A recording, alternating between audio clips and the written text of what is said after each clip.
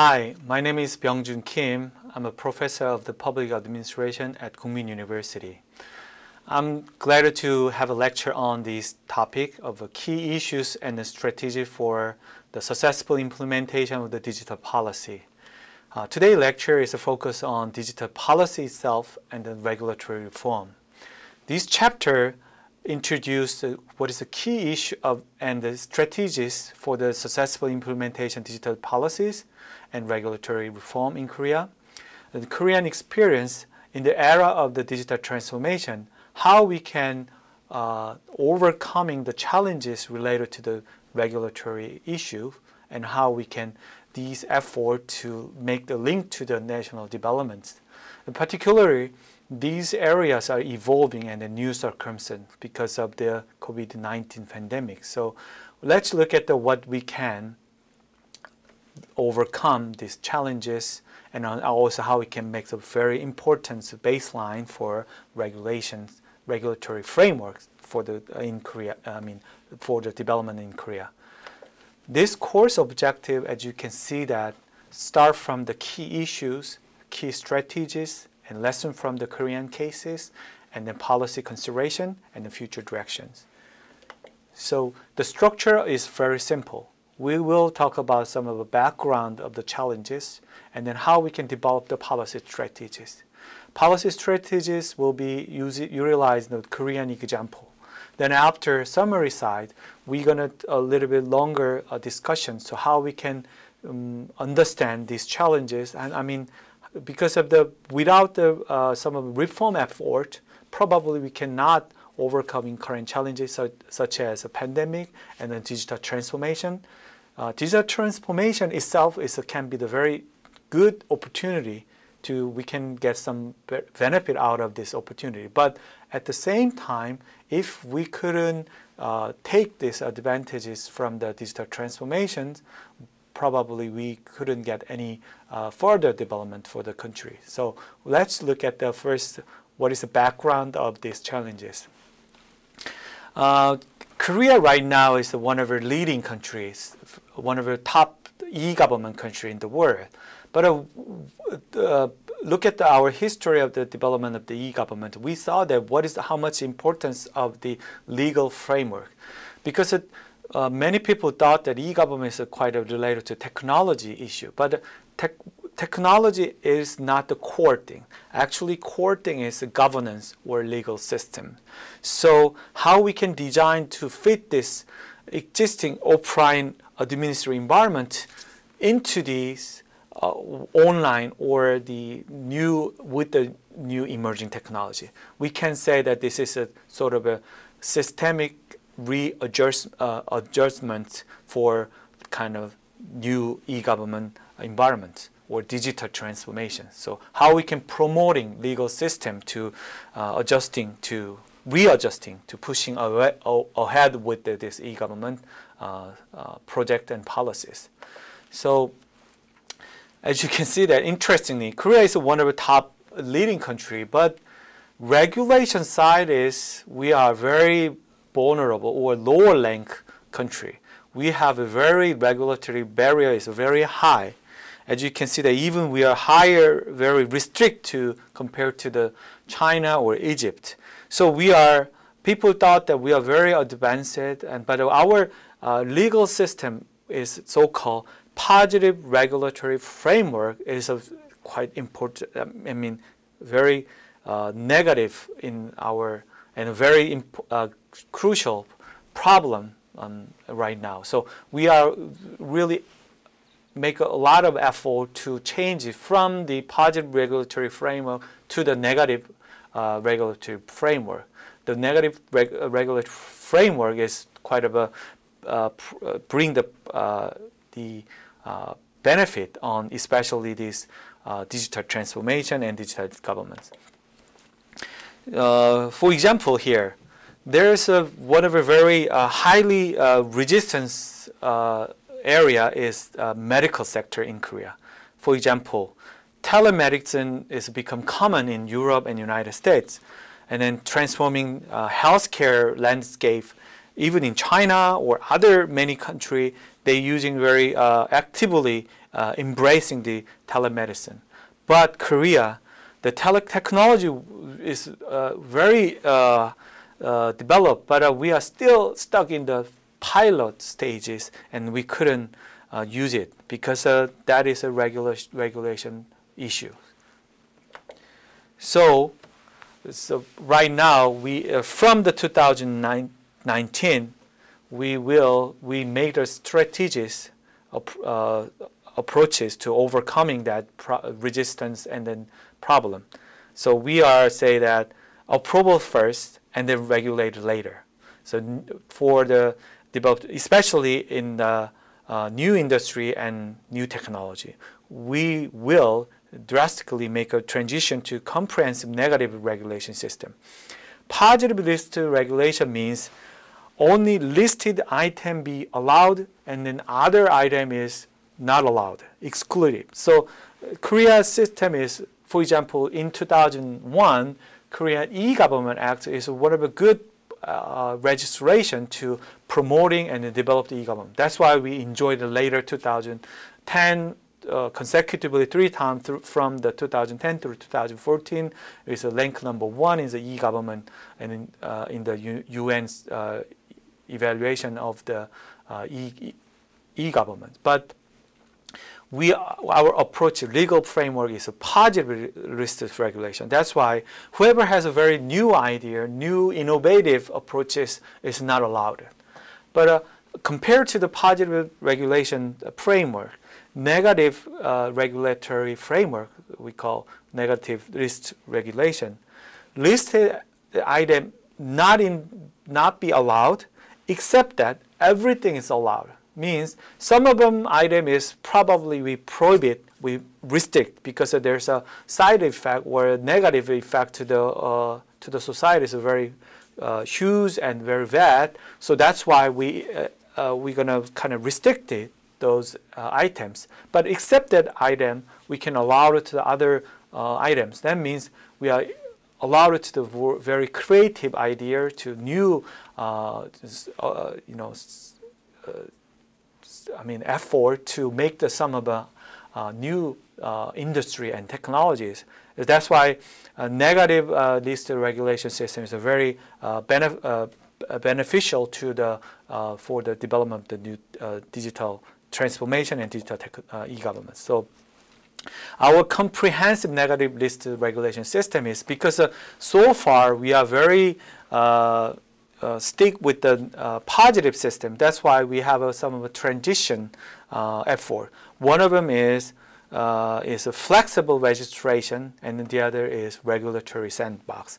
Flexible registration means whoever we make the negative list and then define the comprehensive concept and then make the flexible uh, classification system. That's why uh, whatever we have a negative list, except that uh, negative list, other things so we can allow it, but uh, we are still very uh, stick on to the positive system to later, for example, like exports evaluation and, and management. So our uh, Uh, make them flexible to uh, include those uh, efforts is really well matched with the, what our goal or not. So we make that flexible registration system. And the other side is we uh, make the, some of the exceptions. So especially in the new industry, under some condition, in spite of the whatever current regulation, we are kind of allowed it. So first, there's a three step. One step is a prompt check for regulation first. So because of the regulations, new industry and new technology couldn't uh, works, then we make the temporary permission. So make or make a special cases. That's why we can see that uh, some of somehow mm, uh, change our uh, regulatory framework from the positive system to the negative system.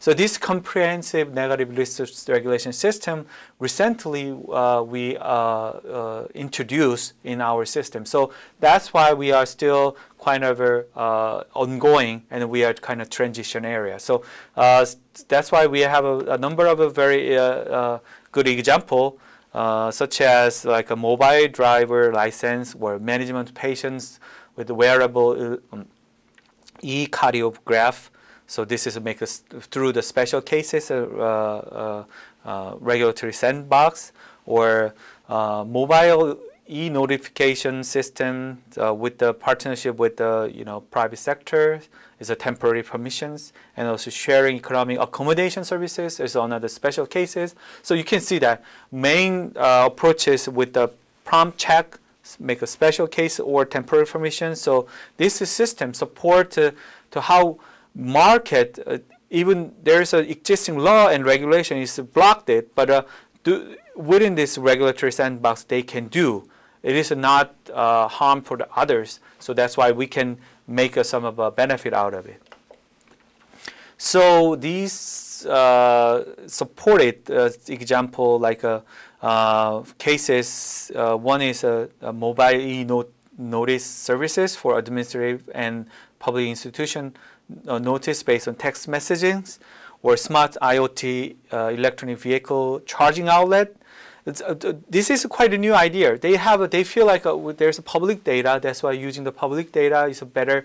Uh, some notification system will be very. Uh, every citizen can uh, enjoy that benefit, and also new emerging uh, technologies. But because of the lack of the some basic needs for the new technologies, we uh, asking for a, a, temporary permission and then we can enjoy it. That's why we can make a, some of a better uh, increasing the market size and we uh, spreading the more prevailing the out uh, the benefit of the, this new new uh, you know challenges and new I mean new innovative ideas. So. Uh, regulatory sandbox is really uh, uh, essential for this policy strategic for to change the regulatory reform in Korea. And also, there probably with the example, the more uh, you can understand well. So here is a two example. First example, uh, how these uh, you know ICT regulatory sandbox changes our lives. The first one is let's say there's a Mr. Kim. His name is uh, Mr. New Kim, living in the Sejong City. Sejong City is a administrative capital in Korea he purchased a, electronic vehicle after selling the old his old car through the service offering the comparison for scrapping car. Actually, in Korea, scrapping is really uh, regulatory, uh, you know, uh, things. But uh, through the regulatory sandbox, the whenever because uh, Korean current reg, uh, regulation is whoever get the permission, but that uh, whoever to want to scrapping the car in the uh, business, they have to have own facility. But uh, that is uh, taking longer time. But uh, and also there's a uh, depending on the site, their prices are different. So some of them, the entrepreneur, uh, the make some of uh, online uh, business joins auto they even they don't have a real facility, but whoever scrapping car facility, these uh, uh, new uh, venture com uh, companies to uh, using the data information to comparing the price and then make a better services to the users. This is one of the example for regulatory sandbox. And then Mr. Kim and use a smart charging station inside the uh, his apartment parking lot. Before it's not allowed it, but through the regulatory sandbox, he can has a that facility in near his uh, life, uh, his place. And then Mr. Kim recently lost his driver license uh, card, but he has a mobile uh, driver license. That's why in his smartphone, that's why they don't have any problem. He, he doesn't have any problem. Also, Mr. Kim is planning to visit police station as he's uh, received a new uh, driver license very quickly. Uh, and also he can uh, also notification your license is uh, re, uh, renewal the new license is arrive in the place. So this this story, one day you know Mr. Kim can do because of the he get the benefit of out of the regulatory sandbox. Uh, the secondary example, another Mr. Lee, I, his name is ICT Lee, went for the sudden business trip to Seoul for three days and then Mr. Lee paid for home services through the mobile app and was able to book a house near Gangnam Station at a cheap price using an app recommended by the colleague. And also, uh, last day of his business trip, Mr. Lee used a shared tax, taxi apps, uh, app and application can, could cheaply and quickly arrive at the Seoul station uh, uh, despite of the evening rush hour. So it is another new idea how they can uh, share the taxi fare uh, fee. And the taxi provided location and price information in real time on the, on the app with many user expression satisfaction. So it is another kind of glimpse uh, or uh, snapshot of the Mr. Lee get a uh, benefit out because of the regular sandbox is a change in our positive regulatory framework to the negative framework. So this new idea is allowed to, that's why um, individual citizens enjoy that uh, regulatory reform. So uh, main contents of the framework registration should be there's a basic principle and then basic principle understand and then we also understand how we can make the intelligence uh, information utilized for that negative system. And then we also uh, also countermeasure any uh, uh challenges and problem and no ethical standard and then how we can uh, we can protections uh, and then some so we have to allow the kills kill switch. So some of the very uh, uh, unexpected uh, negative, uh, you know, uh, things happen. We can stop it. Those, uh, you know, you know, problems. So kill switch is very important. So the legal issue is at the same time so the promoting to new things, but at the same time we have to protect, make the secure, the have to make the develop a safety net. So that is very important to make the balances. So that's why these legal, legal issues always kind of uh, make those balances. For this area is of finance, law, taxation, distribution, administration. For example, maybe uh, labor uh, replacement because of the robots. Then we make the robot tax to uh, to because of that taxation, so we can uh, better training opportunity to labor, so they can do the uh, creating the quality new jobs to make the balances with the uh, robot replace the routine jobs, something like that. So this is not only for the one area; it's lots of uh, different areas. So we, you can see that example here. Uh, so that's why we have to holistic view. That holistic view is probably not in the one day we come, come up with it. We actually, especially over the time, and then especially Korea experience is like looked like this. We are experiencing very uh, kind of new and listen.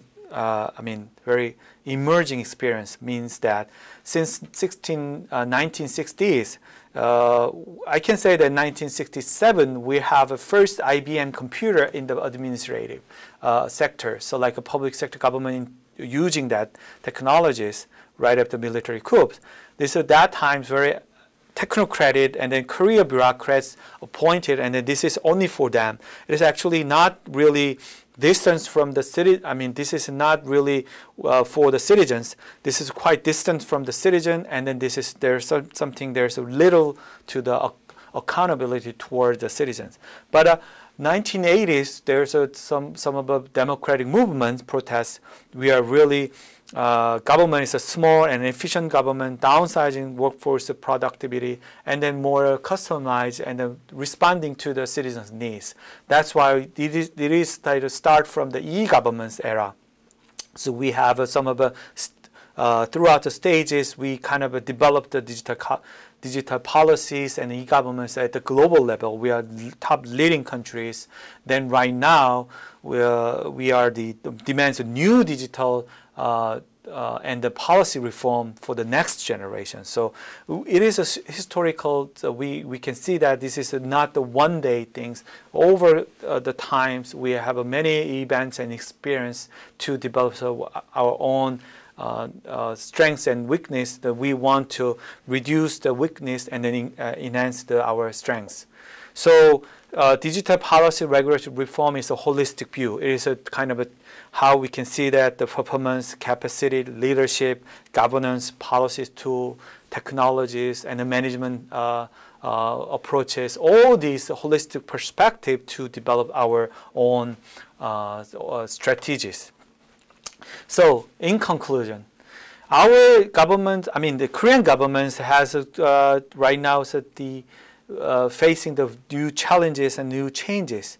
And then the especially new digital new deal technology, we are have a 10 major projects focusing on the initiative to these changes and then also these cha challenges not only for the digital industry but uh, uh, kind of digital enabled green industry to win make the win-win relationship. So holistic uh, approaches not only for the uh, uh, regulatory legal framework, institutional part, also the, uh, the, the industry and uh, other parts. So we are we are making the holistic to uh, to balance it between the tr digital transformation and then regulatory reform.